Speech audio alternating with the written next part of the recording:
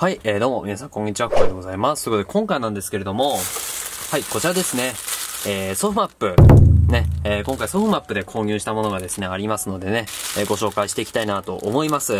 まあ、本日はですね、まあ、フラゲ日でございますけれども、まあ、実はね、えー、二つ、まあ、虹ヶ崎だけでもね、二つフラゲがございましてね、まあ、そちらをね、まあ、今回は開けていきたいと思うんですけども、まあ、ちょっとね、二つ開けていくとね、動画の尺的にあれですので、まあ、今回はですね、えー、それぞれに分けてご紹介をしたいと思います。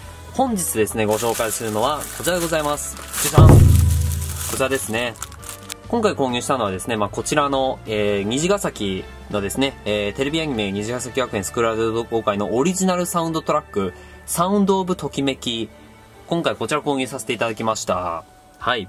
まあ、こちらですね、えー、テレビアニメ虹ヶ崎学園スクールアイドル同好会のサウンドトラックですね。はい。まあ、テレビアニメではね、毎回おなじみのサウンドトラックでございますけども、まあ、今回もね、えー、買いました。サントラってね、僕何気にね、好きなのでね、まあ、これはね、ちょっとご紹介したいなと思いました。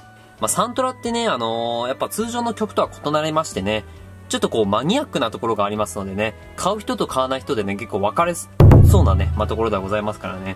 まあ、一応ね、これはね、ご紹介しておきたいなということで、今回買いましたけども、こちらですね、えー、お値段としては3800円ほどいたしました。まあ、サントラということなので、あの、収録曲が多いということなのでね、まあ、今回ちょっと値段は張りましたけれども。ではですね、じゃあ早速こちらね、ちょっと開けていきましょう。はい、ということでですね、えー、今回僕ソフマップで購入しましたので、こちらのですね、特典もついてきました。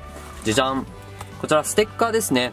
はい。えー、ジャケットの部分がこうステッカーになってるといった、え、形でございますけども、まあ、こちらね、ジャケットイラストね、こちらあの、メバチさんっていうね、えー、方が描かれた、まあ、ジャケットイラストになります。あの、ネオスカイネオマップとかとね、あの、同じ、あの、イラストでございますね。まあ、これね、あの、背景にね、虹ヶ崎学園ってこうね、書いてありますからね、多分ね、これ、学校の校門のね、前なんでしょうね。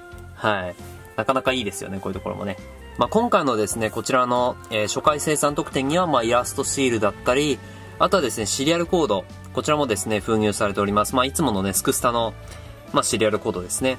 ちなみにですね、こちら裏には、はい、こんな感じでですね、サントラの曲が1個ずつ書いてあります。こう思うとですね、使われた曲、これ60曲くらい ?5、60曲ありますよね。はい。すごいですよね。こう、サントラってね、なかなかやっぱ多いですよね、毎回ね。これディスクがね、2枚ごとに分かれておりまして、ディスク1、ディスク2とありまして、それぞれにだいたい30曲前後。まあ、テレビサイズバージョンもね、ありますのでね、まあ、正確にね、これ、えー、60何曲、70曲ぐらいあるのかと言われたら別にそういうわけではございませんので、まあ、5、60曲はね、もう少なくとも、要は、あの、サウンド、サウンドトラックとしてのね、要は BGM として使われてる曲としてはもう5、60曲はあるということでね、はい、ということでですね、じゃあ早速ね、こちら、えー、開けていきましょう。ではですね、CD の方開けていきましょう。ほっはい、ということで、おこんな感じですね。今回もなかなか、こう、洒落たデザインですね。